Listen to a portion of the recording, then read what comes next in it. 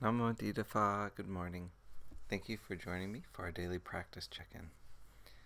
Listen, listen, listen. This beautiful sound calls us back to our true home.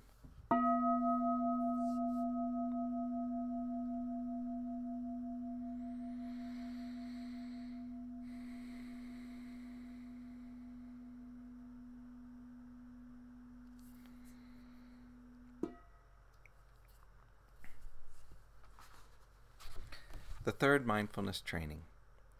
Aware of the suffering caused by sexual misconduct, I vow to cultivate responsibility and learn ways to protect the safety and integrity of individuals, couples, families, and society. I am determined not to engage in sexual relations without love and a long term commitment. To preserve the happiness of myself and others, I am determined to respect my commitments and my, the commitments of others.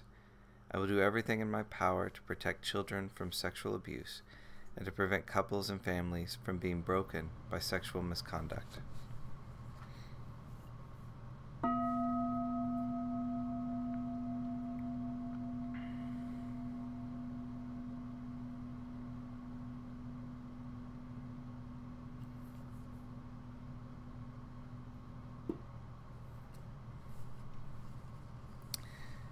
Reading Ajahn Chah's book Bodhinyana, a collection of Dhamma talks, and ready to begin uh, the Dhamma talk, A Gift of Dhamma. I'm happy you've taken this opportunity to come and visit Wat Nong Pah Pong and see your son who is a monk here. However, I'm sorry I have no gift to offer you. France already has so many material things, but of Dhamma there's very little. Having been there and seen for myself, there isn't really any Dhamma there which could lead to peace and tranquility.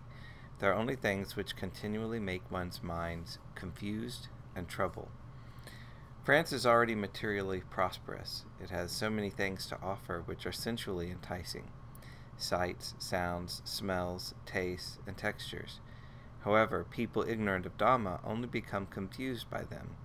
So today I will offer you some Dhamma to take back to France as a gift from Wat Nong Pah Pong and Wat Pah Nanachat. What is Dhamma? Dhamma is that which can cut through the problems and difficulties of mankind, gradually reducing them to nothing. That's what is called Dhamma, and that's what should be studied throughout our daily lives, so that when some mental impression arises in us, we will be able to deal with it and go beyond it. Problems are common to us all, whether living here in Thailand or in other countries. If we don't know how to solve them, we'll always be subject to suffering and distress. That which solves problems is wisdom, and to have wisdom we must develop and train the mind. The subject of practice isn't far away at all. It's right here in our body and mind. Westerners and Thais are the same. They both have a body and mind. A confused body and mind means a confused person, and a peaceful body and mind, a peaceful person. Actually, the mind, like rainwater, is pure in its natural state. If we were to drop green coloring into clear rainwater, however, it would turn green. If yellow coloring, it would turn yellow. The mind reacts similarly. When a comfortable mental impression drops into the mind, the mind is comfortable.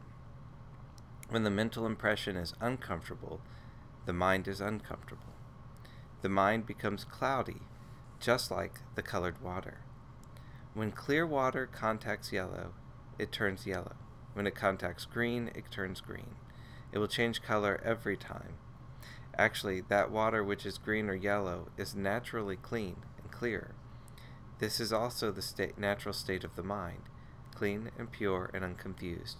It becomes confused only because it pursues mental impressions. It gets lost in its moods.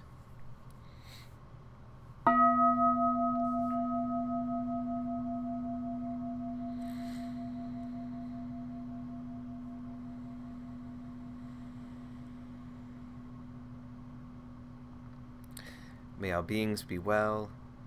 May all beings be happy. May all beings be peaceful. Sadhu, sadhu, sadhu.